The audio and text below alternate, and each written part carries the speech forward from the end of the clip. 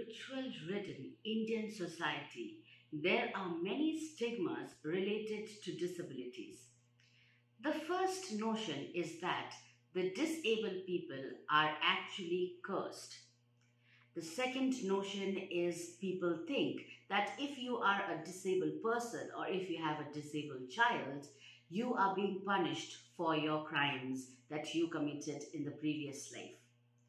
Furthermore, some of these rituals are superbly dipped in superstition, and there are even notions that if a mother's karma is posted down to her children, the child in the womb becomes disabled.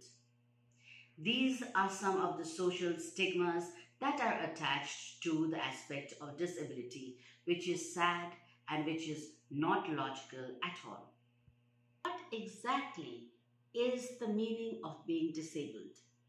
A disabled person will lose function on physical, mental, intellectual, and sensory basis. There are many different kinds of disabilities, which are blindness, low vision, hearing impairment, locomotive disability, mental retardation, mental illness, cerebral palsy, autism, and many other, which have many people crippled in our society. Now, there are various laws for the disabled in India, like Mental Health Act 1987, the Rehabilitation Council of India, the Persons with Disabilities, the National Trust for the Welfare of People with Autism, the National Policy for Persons with Disabilities, and the United Nations Convention on the Rights of Persons with Disabilities. But despite all these acts in India, our disabled friends are not able to work.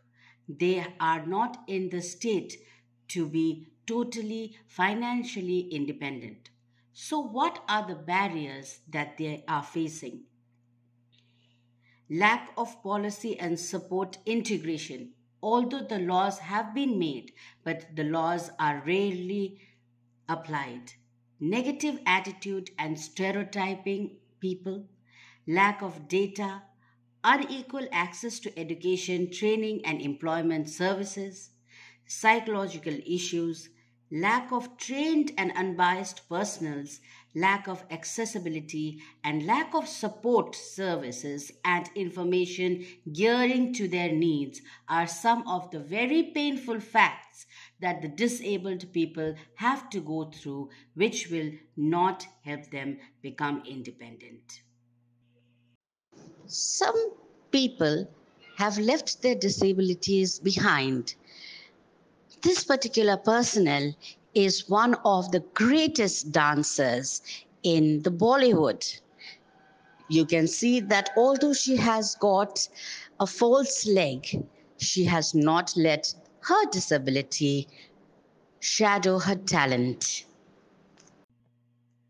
The acid attack victims, the victims who were human trafficked, the rape victims, these are all victims in the society and who live like uh, second class citizens. They do not get any equality. We have with us Miss Lakshmi Narasimhan, who is a professional in uh, special education. She has done her master's in psychology and English, and she has 20 years of experience in the field of special education. For people who do not know what is special education, special education is when we are uh, handling children with special needs and with disabilities, whom we also call differently abled. So, today, on the International Day of Disabled People, uh, we are very lucky to have Miss Lakshmi to share some of her opinions with us. So, Miss Lakshmi, um, this is it gives me great pleasure to welcome you in this uh, talk of ours, and we would really appreciate it if you can give us a little introduction of yourself with some of the uh, places that you worked, with some of the um, children you have worked. Yeah. Thank you, Priyanka. And it's a great pleasure talking to you and all the people there. Yeah, hello. Hello, everyone. So, I have been uh, working in this field for the last 20 years. I started off uh, mm, because, uh, uh, as many people, I was not much aware uh, of uh, disabilities, but I have a son who is autistic. So, uh, then my journey started in this, and I did a professional course in uh, special education to actually understand him better. But then i found that uh, it really helps everyone else also. And uh, this later turned into my passion and my profession. And uh, i have basically worked with a lot of uh, mainstream schools uh, in delhi and bangalore cbse ib schools. And they're helping mainstream the children who have the so called disabilities so that term itself is uh, very discriminating, I feel. So, mm, yeah. Yes, ma'am. So, Mhm. uh, can you tell us how acceptance uh, is has to find um, its way in our hearts for when we are talking Mm, about differently abled children? Can you mm. give us your opinion? Yeah. So, uh, the thing is, uh, according to WHO, 15% of the world's populations has some kind of impairment. So that's a huge number. It's more than 1 billion. So then uh, because they cannot do certain activities that we can do easily society in general tends to discriminate against them and so just because they cannot do certain activities they are uh, uh, we don't actually let them do anything else. So maybe a child who is visually impaired can't read can't see but then they can do uh, everything else right? But society discriminates against them and uh, just puts them in a corner saying this person is disabled they can't do anything so like that i can give a lot of examples. So the basically we as people who are uh, living together in society we have to open our hearts and minds and think in accepting diversity. All of us are diverse. I would just like to uh, add one uh, term here. People talk about visual impairment hearing impairment intellectual impairment locomotor impairment and all. So once in a meeting of people who were having any kind of they, they had a meeting they had a conference people with various disabilities. They started thinking that society is calling us giving giving us so many labels and we are just known by our labels. So why don't we call the so called neurotypicals you know so called uh, normal people why don't we give them a label? So after a lot of thought they gave a label which says that temporarily abled bodies That's a good one. That's a good one. yeah all of us are temporarily able anything can happen no anytime Yes, yes. so yeah so we have to keep this in mind when we just look at a person with disability and just you know uh, sort of we put a block over there and let me not think about it at all yeah Thank you so much for sharing. So, can you tell us now we have inclusive schools where we have Mhm. students who are studying with, uh, Mhm. you know, children uh, who are studying together. So, some can you give us some tips on how teachers can be of more help to them? yeah yeah that's a good question so i mean the teachers uh, the initially what teachers should do is first accept the fact that whatever they try they are going to get a diverse classroom so it is better to accept that yes there will be children with different speeds of learning maybe different ways of understanding. They so you will be having it in any classroom that you go to any level any classroom. So first having an open mind flexible mind about it and then looking carefully that is there a child who is consistently not performing well in spite of giving the best? The teacher is trying. Obviously when the teacher is not doing we we rope in the parents or others to help also. In spite of that the if a if a child is not doing then we have to think that maybe this child learns in a different way. Okay? So maybe we can break down the lesson into small parts. I mean uh, because it's a it's quite a lot of thing but i can just say that you can break the lesson down into very small parts and teach one part at a time. So that is one of the strategies that can be used. So, hmm. That's that uh, that seems mm. to work on the on the favor of the children when they will be self-facing themselves. Yeah. So um, hmm. so is uh, so how many kinds of uh, disabilities are there? Uh, something that's very very common in our Indian society. Yeah, yeah. So we call them developmental disabilities. That means that they should be present in a child uh, before the age of five years old okay so they are called because as the child is developing this uh, disability sorts of uh, restricts them in their learning. So uh, many are like i think all of us will be aware one is visual impairment impairment. Visual impairment can be uh, 100% 80% 70% no so but then it does affect. So another is hearing impairment. Same way hearing impairment also can be totally uh, no hearing or some hearing hearing in some frequencies. Then we have locomotor, locomotor impairment where you have the difficulty in movement. So it can be not able to walk or, uh, you know, not able to move at all, not even neck movement. It can be that.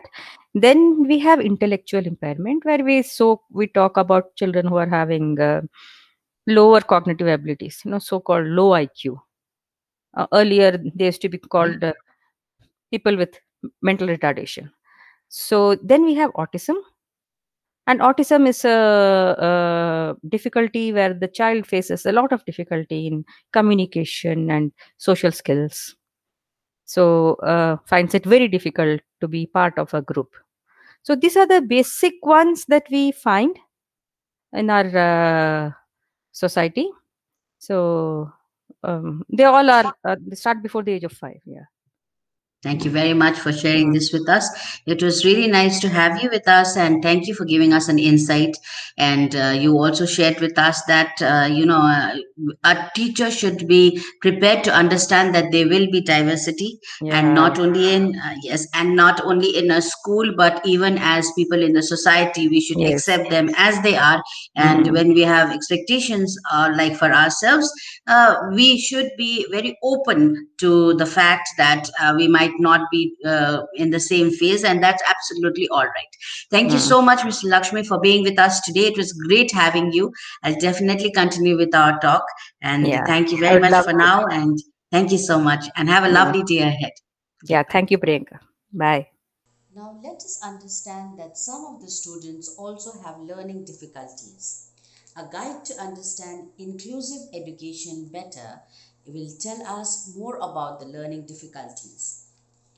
Now, there are various kinds of learning disabilities. Some of them are dyslexia, autism, and hyperactiveness.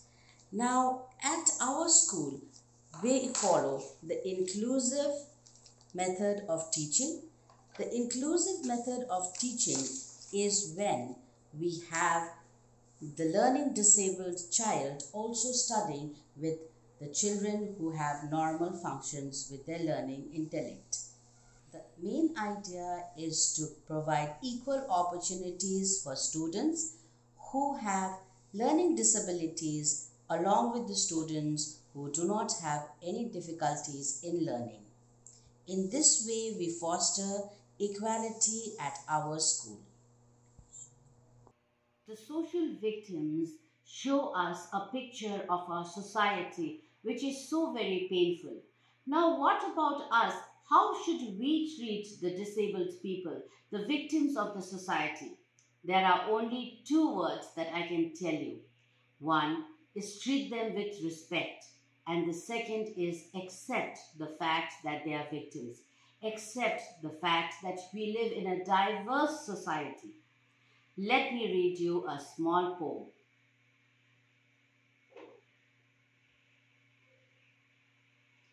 I have no legs, but I still have feelings. I cannot see, but I think all the time. Although I am deaf, I still want to communicate.